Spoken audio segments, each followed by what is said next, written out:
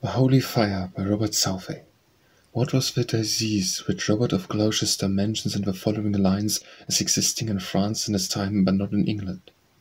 So clean lentis Engolond and so pure without o'er, the fairest man of the world the Elizabeth he bore, so clean and fair and pure among other men her beth, that me now of him and at long by side where my hem saith. So and so is that land though one's blood so pure that the great une cometh not there that my clever at the threatened man's lime rike serbe brand, ek men of France and fly kan the mischief sonnement.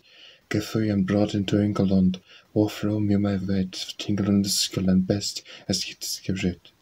It should seem to mean erysipelas, yet this disease is not common in England, and how it should ever have been cured by change of climate is difficult to explain.